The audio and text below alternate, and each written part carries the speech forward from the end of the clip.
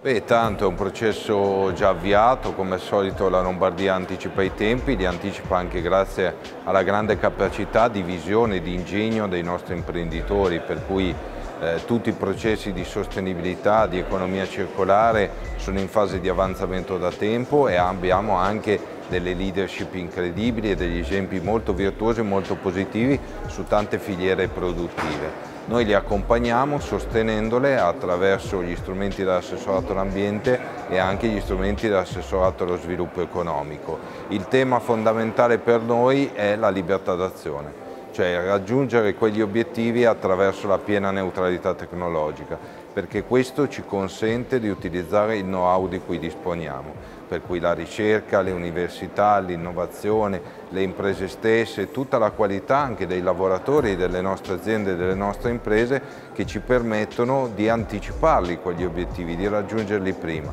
Se non ci venisse lasciata la piena neutralità tecnologica saremmo omologati agli altri in piena difficoltà e soprattutto non riusciremo a sviluppare nuove idee, nuove capacità, nuovo know-how e anche nuove occasioni occupazionali.